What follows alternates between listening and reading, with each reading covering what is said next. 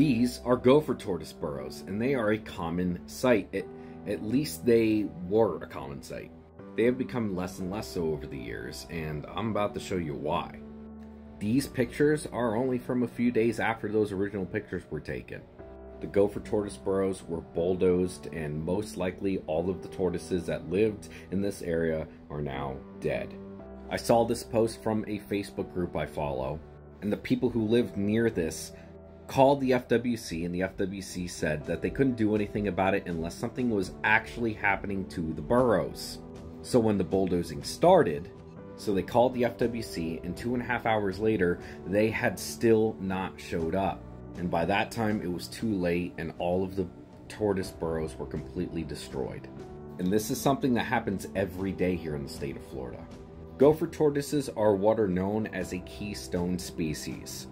Basically, because of them, many other species of animals are able to live, many of them sharing the burrow with the gopher tortoise, like, you know, rattlesnakes, pine snakes, indigo snakes. There's even a species of frog that is only found in gopher tortoise burrows. And when things like fires happen, which is a common occurrence in central Florida, these animals will go into the holes to escape the fire.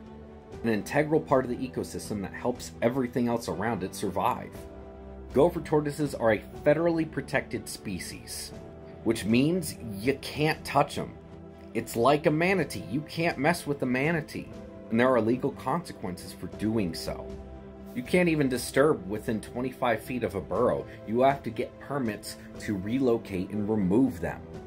But each one of these permits costs anywhere from one to two grand, upwards of six grand per tortoise.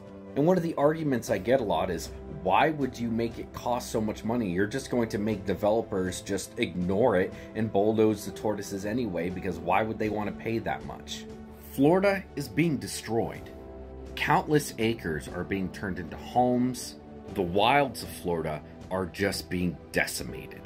Florida's not just beaches and Disney, there is so much more to it.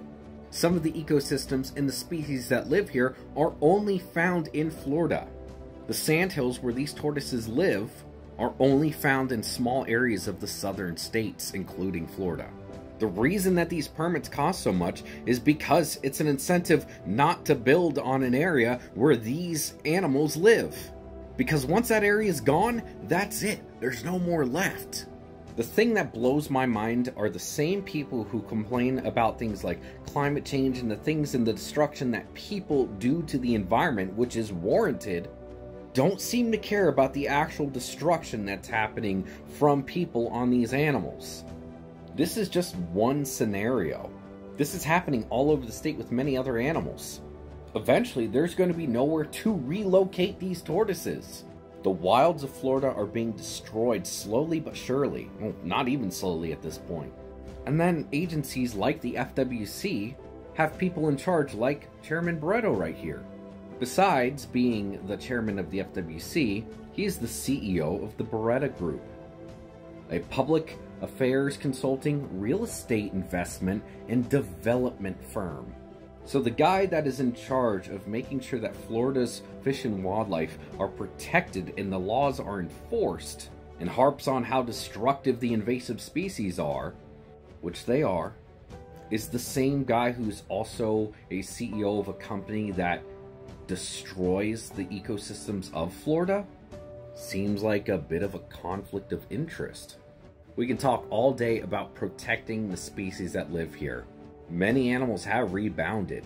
The Florida panther, the manatee, the Goliath grouper, the alligator, the American crocodile, they've all had success stories.